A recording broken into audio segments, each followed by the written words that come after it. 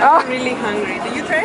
I am going to. Once Alright. we finish the interview, she will try. Right. All right. Okay. Nice to meet you. Yeah, take. My name is Andreas Johnsen. I'm a filmmaker from Copenhagen, Denmark, and I'm uh, world premiering my film Bugs here at Tribeca Film Festival 2016 in New York City. My film is about edible insects, so today we're doing a pop-up tasting of escamoles at Miscelanea in uh, Manhattan on 4th Street. And uh, it's an opportunity for people to taste a very delicious edible insect from Mexico. It's the escamoles, and uh, it's actually the the stage of pupae larvae of the queen and ant queen from Mexico. My friends at Nordic Food Lab was uh, doing a three-year research project on edible insects, which included uh, field work all over the world. And uh, when they told me about it, I thought that was a great opportunity to make a film and also an excuse to go on a very exciting adventure with them and Right. taste a lot of different stuff. These are escamoles. Uh-huh. These are ant uh, larvae.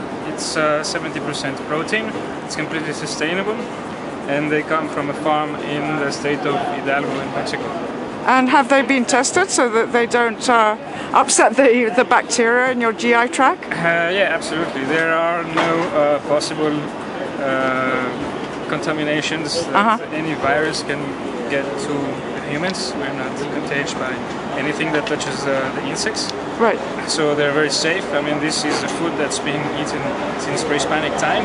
Uh-huh. uh, in uh, some areas around Mexico City, Hidalgo, Tlaxcala, Puebla, Querétaro, uh, San Luis Potosí. Okay. So they're very safe, they're very high in, in protein, they're very nutritious, Okay. and delicious. very delicious. They're absolutely Okay, I guess amazing. I'm going to have to try one. Yes. What I found most delicious uh, around the world when we were doing the field trip was uh, definitely the honey ants, for example in Australia, the termite queen in East Africa.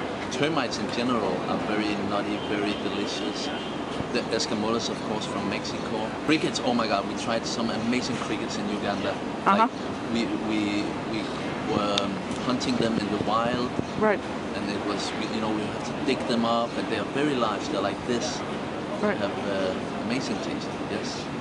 Hmm, no i mean we were not trying to keep the insects alive. We were trying to cook them Uh-huh. and bring samples home to the lab.